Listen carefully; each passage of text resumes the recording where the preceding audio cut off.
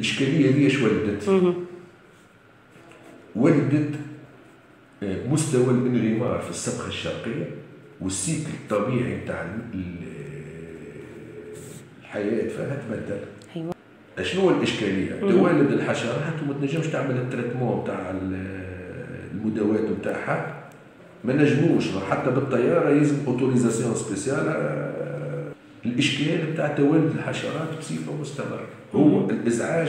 ما تنجمش مساحة كبيرة. voilà اش معناها؟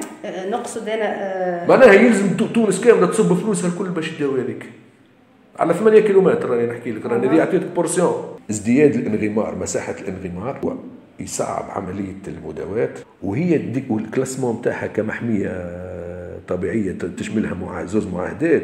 يمنعك باش تستعمل ال produit خاطر تعرفت واش معناها يا أختي ال produit ال insecticide؟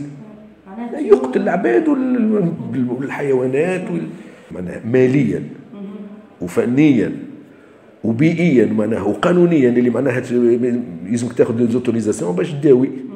تعرف يقتل النحل. donc شو يقتل الطيور وش يقتل الوشواشه معناها يتطلب مش أنا نقول نجي داوي الطيار.